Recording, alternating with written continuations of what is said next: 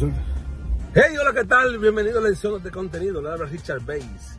En esta ocasión vengo con una entrevista con un artista que dejó, su padre dejó un legado y quiero dárselo a conocer con ustedes. El Mayimbe Andoni Santos tiene que decirle gracias por existir. También Luis Vargas tiene que decir gracias por existir, porque gracias a ese artista, eh, su hijo que está aquí conmigo, la bachata creció y se mantiene en el gusto popular de la gente. Y con ustedes, Sammy Durán. Oye, oye, oye, El oye. legado. Oye, oye, oye, oye. Ay, Rich, coño. tú, tú siempre me dices Sammy Durán. Yo no me llamo Sammy Durán, yo me puse artísticamente Sammy Durán en Nueva York porque eh, yo me llamo Vlad Durán. Me llamo Vlad Gilberto Durán y me toca Vlad Durán Jr. Entonces, eh, yo salí como Vlad Durán Jr. Y en Sábado Corporán, Vlad, en ese tiempo, mi papá, porque estaba encendido. Y yo salí del grupo encendido y me puse Vlad Durán Jr. Y hubo una, una, contro- No, una- pero bien, bien. hubo una controversia. Ah, ¿Tú me entiendes con eso?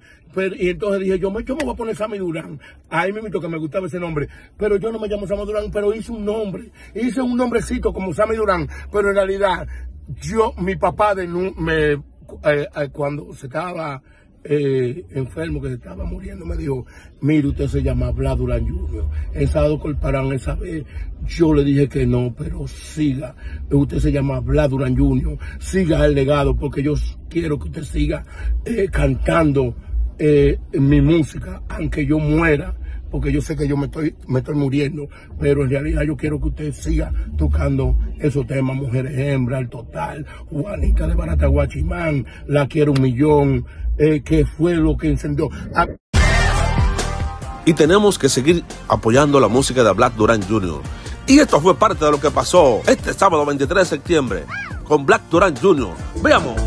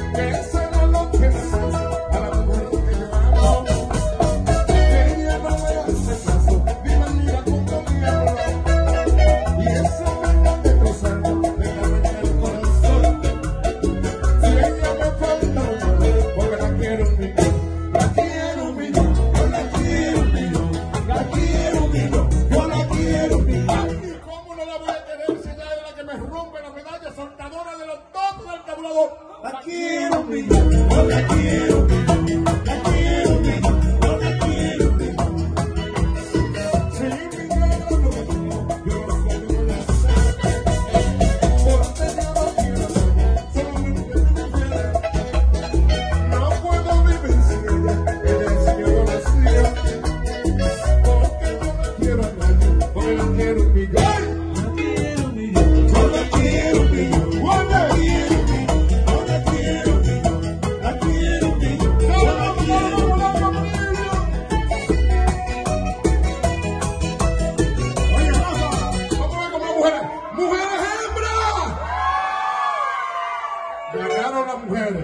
Aquí le traigo un consejo.